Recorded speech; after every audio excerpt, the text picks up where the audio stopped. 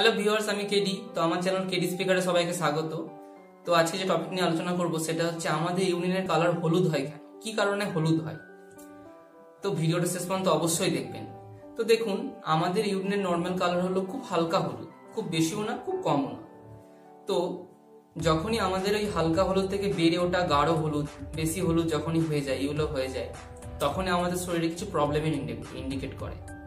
তো কি কারণে আমাদের ইউরিনটা একটু হালকা হলুদ বা হলুদ হয়? কি কারণে হয়?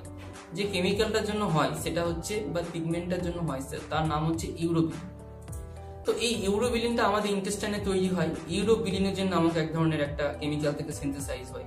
এবং যখন আমাদের ইউরিন প্রোডাকশন হয়, সেই ইউরিন প্রোডাকশনের সময় এটা মিক্সড হয় এবং আমাদের ইউরিনটাকে হালকা হলুদ করে।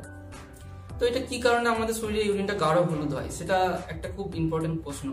তো দেখুন, যখন আমাদের শরীরে ডিহাইড্রেট থাকে, যখন শরীরটা আমাদের জল অনেক পরিমাণ কম থাকে, জলের ভারসাম্যটা আমাদের শরীরে যখন অনেক কম থাকে, ইউরিনের পরিমাণটা যখন কম থাকে, তখন এই ইউরোবিলিন যে আমাদের কেমিক্যালটা আছে, সেটা আমাদের ইউরিনে তো মিক্স হচ্ছে। তার তার কনসেন্ট্রেশনটা অনেকটা বেড়ে যায়।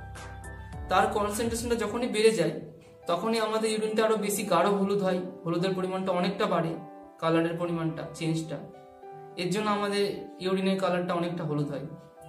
সেরকম ভাবে যখন আমাদের শরীরে জলের ভারসাম্য অনেকটা ঠিকঠাক থাকে, জল আমরা বেশি করে খাই, এর জন্য তখন আমাদের ওই যে ওর কনসেন্ট্রেশনটা ইউরোবিলিনের কনসেন্ট্রেশনটা অনেকটা কমে যায়, হালকা হলুদ দেখা যায়।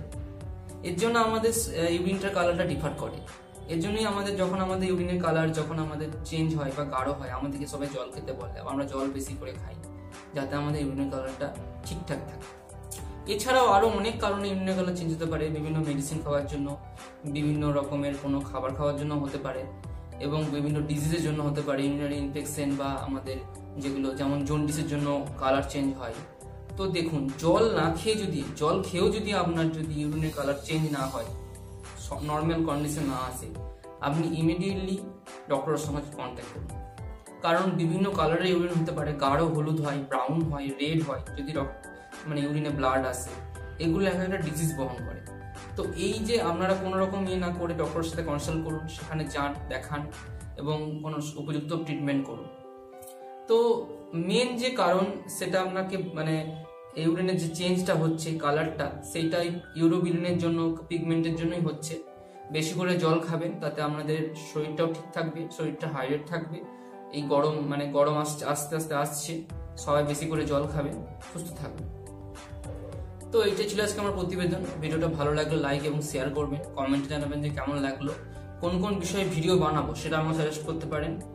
আর এই ভিডিওটা দেখার জন্য ধন্যবাদ। আবার নেক্সট ভিডিওতে দেখা হবে। বাই